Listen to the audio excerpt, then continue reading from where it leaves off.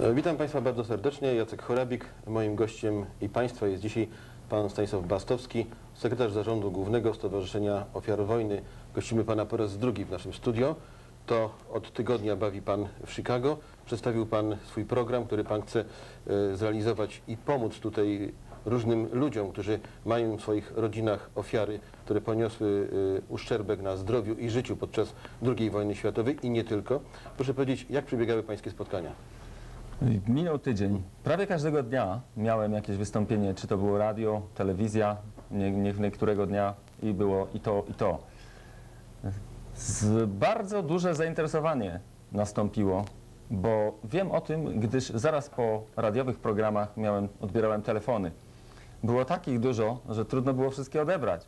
I tak patrzałem z, z niepokojem, bo chciałbym ze wszystkimi porozmawiać. Ktoś tam dzwoni, a ja nie mogłem nadążyć z tym odbieraniem tych, tych telefonów. Chciałem panu powiedzieć, że po naszej audycji telewizyjnej Mhm. rozdzwoniły się telefony u nas w redakcji telewizyjnej i bardzo wiele było młodych głosów. Czy, pan, czy do pana młodzież też dotarła? Y, Byli, był bardzo duży przekrój y, wiekowy, y, rozsądząc po głosie.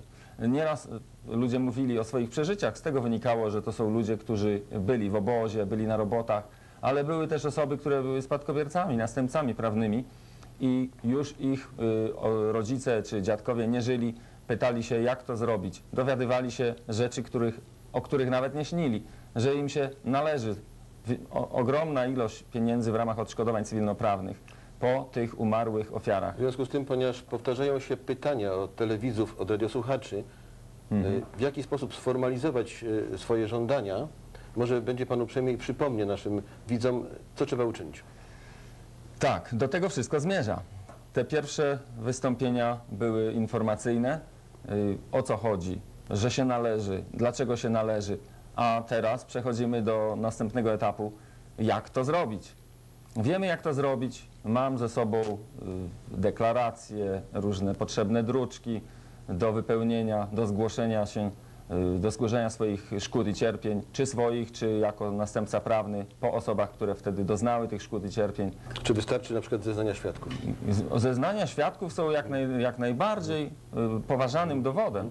Najczęściej y, żądane są zeznania dwóch świadków, ale zdarza się, że nie żyje już nikt, jest jeden, a czasem jest tak, że nie ma w ogóle świadków. Jest, są zawsze jakieś sposoby zdobycia tych dokumentów. Y, Jest takie biuro poszukiwań y, Arolsen w Niemczech.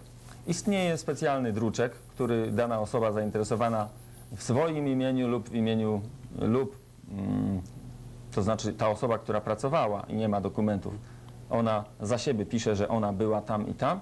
Gdy to jest następca prawny, to pisze, gdzie była ta osoba, która cierpiała, a już nie żyje. Po pewnym czasie, nieraz to zabiera bardzo długo, nie wiadomo dlaczego.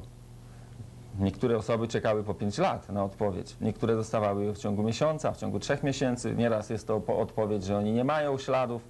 Często jest tak, że mają, a jeszcze nie przekopali wszystkich archiwów. Czasem może być to może, może zła wola, ale najczęściej dostają odpowiedź i potwierdzenie, że rzeczywiście tam i tam byli, tam i tam pracowali i to jest bardzo silny dokument, takie potwierdzenie. Jest jeszcze taka możliwość, że w urzędach polskich, takich jak ZUS, albo w urzędach stanu cywilnego, gdzie załatwiano po raz pierwszy dowód osobisty, y, władze ówczesne wymagały, żeby na formularzach te osoby zeznawały, co się z nimi działo w tamtych czasach. I są takie przypadki, że stara już osoba o podeszłym wieku nie pamięta ze względów na upływ czasu i, że tak powiem, y, osłabienie umysłu. Nie pamięta, gdzie była. I ci następcy prawni też nie mają jak od niej tego wydobyć już. A tymczasem w takim ZUS-ie może być formularz, na którym ta osoba, kiedy była w pełni władz umysłowych, napisała, gdzie była. I od tego zaczynając, można potem jeszcze do Arolsen wysłać takie zapytanie. Co więcej, w ZUS-ach często te osoby deponowały oryginalne dokumenty, które Niemcy wydawali y, tym niewolniczym niewolnikom. Są to właśnie Arbeitsbook i inne. Także są zawsze sposoby, żeby dojść. Rzadko bardzo się zdarza, że nie ma żadnego wyjścia. E, Proszę pana, jeżeli powstanie oddział stowarzyszenia e, w Chicago, Tak. lub e, placówka, która będzie się nazywała podobnie i spełniała będzie e, te formalistyczne Mhm. procedury, które są wymagane w związku z, z wniesieniem aktu oskarżenia Tak. i udowodnienia, że jest się po prostu poszkodowanym. Czy, ta, mm, czy ludzie, którzy będą składali wnioski, będą musieli ponosić jakieś koszty? Pewnie, że, że tak. To będą minimalne koszty. Koszty pokrywające pracę, potrzeby takiego y, właśnie biura. Tutaj, właśnie, tutaj przypomnę, że być może nie będzie, nie będzie musiał to być oddział. Może będzie wystarczy na razie mieć biuro odszkodowań wojennych, biuro cywilnoprawnych odszkodowań wojennych. I teraz tak. Nic nie dzieje się bez środków finansowych. Trzeba, żeby powielić na przykład takie zapytania do Arolsen, to trzeba je albo wydrukować, albo na ksero zrobić i trzeba pokryć koszta. I nie tylko pokryć koszta, ale mieć jeszcze pewien naddatek, żeby wyprodukować to dla następnych osób. Są to, są to opłaty niewielkie. Na, powiem, jak jest w Bielsku Białej. No właśnie, dajmy Oso- przykład Polski, tak. jak to wygląda. Osoba zapisująca się płaci jednorazowe wpisowe w wysokości 15 zł. Dlaczego? Dlaczego tak mało? Bo to są osoby biedne. Są osoby, niektóre osoby na to nie stać, one nic nie płacą, bo mają prawo starać się o odszkodowania, no i nic nie płacą, bo, bo nie mają. Y, Jest składka roczna, która wynosi też 15 zł. Za druczek, za druczek y, jak odbitkę bierze się 50 groszy do złotówki, żeby można było następny wyprodukować dla następnych osób. Y, Potem jest taka działalność statutowa usługowa, jak na przykład wypełnianie wniosków do Fundacji Polsko-Niemieckie Pojednanie, takich, tych, takich czerwonych, gdzie one są, te wnioski tak przygotowane, że ci ludzie prości nie mają pojęcia, jak ich właściwie wypełnić. A gdy niewłaściwie wypełnią, to fundacja odsyła i się nie martwi. Mówi, zrób to jeszcze raz. My pomagamy członkom wypełniać te wnioski i za tą statutową działalność usługową też pobieramy niewielkie opłaty, ale tylko wtedy, gdy tą osobę stać zapłacić tą niewielką opłatę. Jest to 15-20 zł, a jak nie stać, to, to nie bierzemy żadnej opłaty, żeby ta osoba miała... co, od razu z tym się wiąże drugie pytanie. Mhm. Bardzo często się zdarza, że e, taka działalność e, Mhm. takiego biura no, bardzo się przedłuża i pewne wnioski, które zostaną złożone, Mhm. E, ich rozpatrywanie będzie trwało, albo może trwać znacznie dłużej niż osoba to oczekuje. Ona myśli, że jest w Stanach Zjednoczonych i proce- procedura będzie załatwiona szybko. Tak. E, Jak pan przewiduje, czy pan się nie spotka z kłopotami? Na przykład, jeżeli ktoś złoży wniosek udokumentowany, Mhm. zanim ten wniosek trafi e, do Niemiec, zanim zostanie rozpatrzony, nie wiem, może w sądzie amerykańskim, może niemieckim, może polskim, Mhm. upłynie znowu dużo czasu. Czy pan ma jakiś pomysł, żeby, że- żeby przyspieszyć działalność waszego stowarzyszenia i żeby osiągnąć Tu- lepszy efekt? Żeby zrozumieć to, to trzeba to wyjaśnię, wyjaśnię sprawę różnicę między odszkodowaniami cywilnoprawnymi, których staranie o wypłatę których trwa już bardzo długo,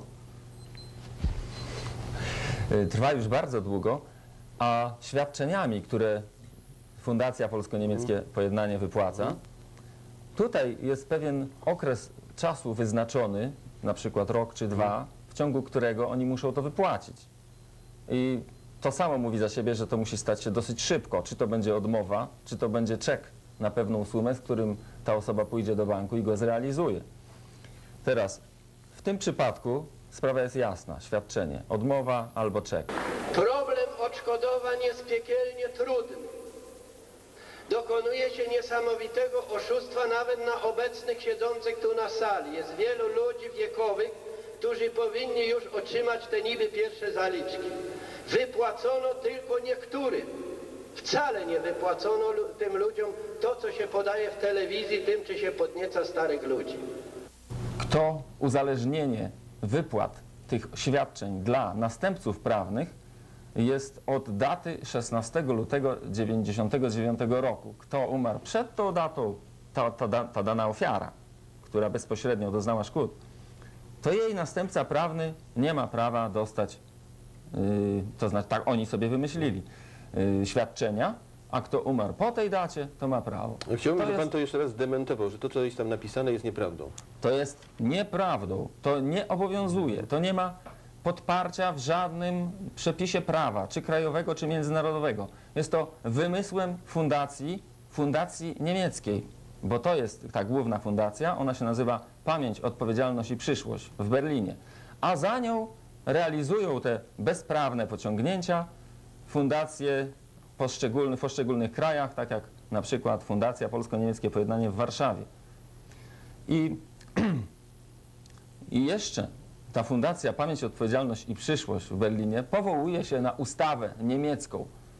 Czyli ustawodawcy niemieccy nie mają sami, jak widać, wiedzy na temat prawa międzynarodowego dotyczącego zbrodni wojennych i zbrodni przeciwko ludzkości i, jak widać, nie mają także prawnika żadnego rozsądnego w Niemczech, który by to wiedział. Dlatego my swego czasu wysłaliśmy im list, mówiąc, że jeżeli oni nie mają takich prawników, ani sami nie wiedzą, to my jesteśmy znawcami w Bielsku Białej i my możemy im wszystko wytłumaczyć, bo to jest bezprawie, co czynią. Co jeszcze? Zarówno w Fundacji Polsko-Niemieckie Pojednanie w Warszawie, jak i w Międzynarodowej Organizacji do Spraw Migracji na tych wnioskach o świadczenie jest taki bezprawny punkt, że osoba, która występuje o y, przyznanie świadczenia, jeszcze dokładnie nie wiadomo jakiej wysokości, zrzeka się wszelkich roszczeń. Czyli to jest wymuszenie zrzeczenia się wielkich pieniędzy w zamian za nie wiadomo jeszcze jakie pieniądze. Taki podstęp prawny, który jest nieobowiązujący. Jeżeli chodzi o Fundację Polsko-Niemieckie Pojednanie, złożyliśmy w tej, w sprawie tych dat, o których mówiłem, i w sprawie tego bezprawnego wymuszenia zrzeczenia y, skargę konstytucyjną do Trybunału Konstytucyjnego, to zdaje się było 12, 20 grudnia zeszłego roku. I jest ona rozpatrywana. Im zależy na tym, żeby ludzie się tym zasugerowali i nie, skło, nie złożyli. A jak ludzie nie złożą, W ogóle nie złożyli. tak, to nie ma sprawy.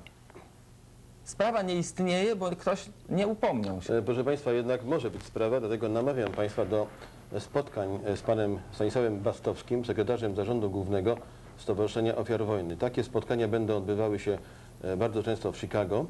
Będą również odbywały się w naszym studiu telewizyjnym. E, Dziękuję Panu e, za rozmowę.